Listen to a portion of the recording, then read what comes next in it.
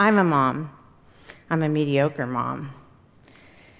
And what I want to share with you today is that by disappointing my children over the years, they ended up building a muscle that I didn't even know they needed. By having a mediocre mom, my kids ended up learning the most valuable lesson of all time how to handle disappointment. I don't know why parents focus so much of their energy trying to keep their kids happy. Disappointment is so much easier and way more fun. This is how I do it. First off, I have way too many kids.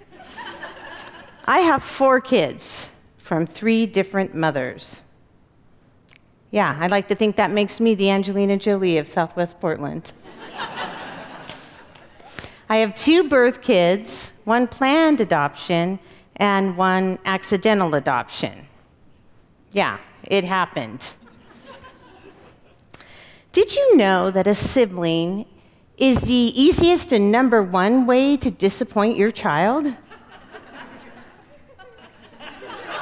a brother or a sister equals a lifetime of disappointment.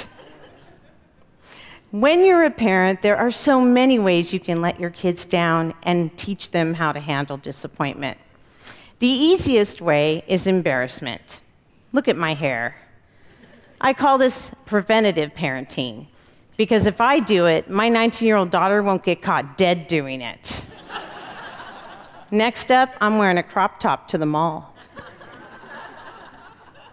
Oh, and when I drop them off at the mall or school or even the high school, uh, I like to wait till they're a few, few feet away from the car and then I'll do the mediocre mom farewell where I start honking the horn and waving. Goodbye, I love you. You're so handsome.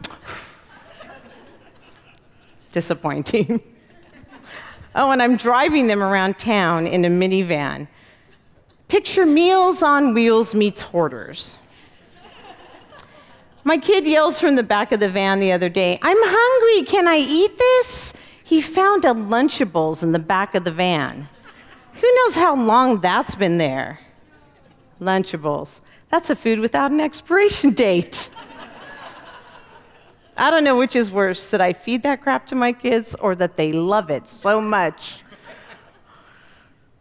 What I want to do is encourage parents to embrace their mediocre self and teach their kids how to handle disappointment. It's like weightlifting for the muscle kids need for handling things. As a mediocre mom, I keep my house very messy. Oh, yeah, we live real close by. You know, we're right over on the corner of Pothole and Homie. Yeah, it's really bad, you guys. I want to invite Martha Stewart over to my house just so I can watch her stroke out on my floor. When my kids' friends come over, it's like, come on in, Spencer. Oh, watch out for Martha's body. Just step over her and don't trip over that knocked over trash can and do your best not to stub your toe on all of my lifelong dreams. It's just. Not only am I a mediocre mom, I'm menopausal. This is super disappointing to my kids. mediocre menopause mom. I can go from happy to crappy in less time than it takes you to say, too late. I can't volunteer at their school anymore because I'm no longer capable of pretending to like other people's children.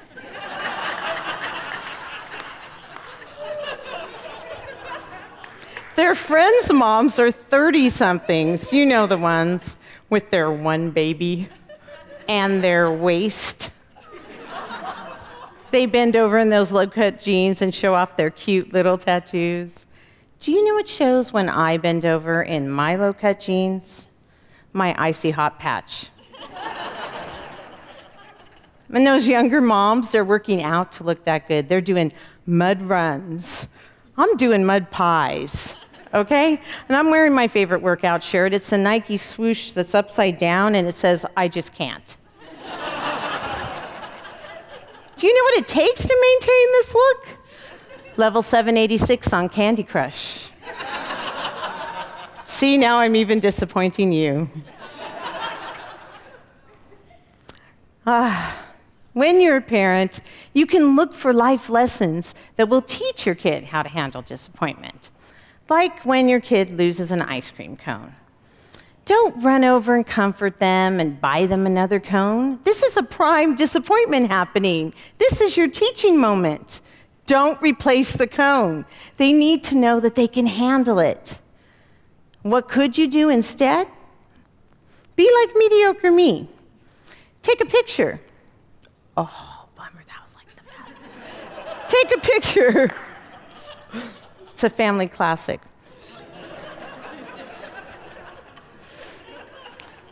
If you think about it, oh, now I'm going backwards. See this? If you think about it, disappointment is a natural part of parenting. Uh, it's right up there with the most common parenting style hypocrite parenting. Stop yelling at your sister! and if it's that sister's birthday, don't buy her siblings presents so they don't feel bad. Everybody feels bad when it's someone else's birthday. They have to learn how to handle it. The reality is, when you're an adult, no one is going to buy you a present when it's someone else's birthday. Can you imagine? Hey, I, I picked up this candle so you wouldn't cry at Michael's 50th. the way I see it, we all get a chance to be special. It just might not be your day yet. And please, please, please say no to your kids. Not yes, but, or maybe. Say no. I even made hearing no fun for my kids. Do you guys remember the Elmo song? Mm, every time I said no to my kids, I sang it. No, no, no, no, no, no, no, no, mommy song. They hated it. But no is a part of life. They need to get used to hearing it.